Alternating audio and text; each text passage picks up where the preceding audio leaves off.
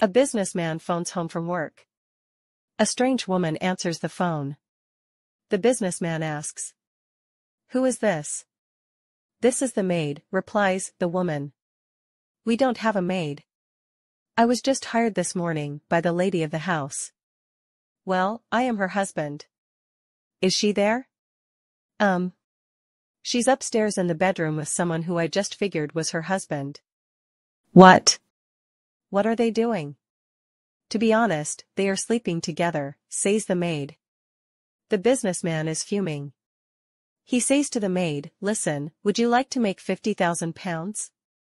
What do I have to do sir? I want you to get my gun from my desk in the den and shoot my bloody witch of a wife and the effing jerk she is with.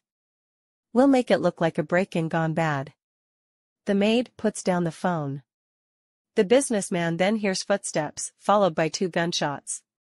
The maid comes back to the phone and says. What should I do with the body sir? I don't know. Throw them in the swimming pool for all I bloody care. There's no pool here sir. Replies the maid. After a long pause, the businessman says. Ah. I think I got the wrong number. what?